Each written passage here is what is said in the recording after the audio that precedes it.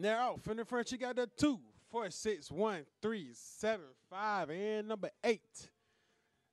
At the Greyhounds coming to the turn, the six has lead behind. The seven, two, one, eight, four, five, and number three. And then get to the home stretch. The six got the lead, and to get to the wide will be six, one.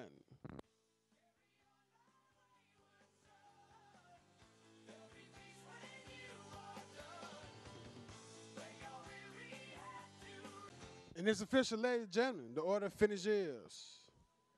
6178. Winnie Greyhound, CTW Chesley, racing for the Clitter Ray Kennel. Trainers, Andre Delgado. Time race, 17.72 seconds. Next race will be the 12th race.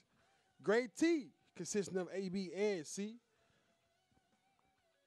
Post time B in 11 minutes.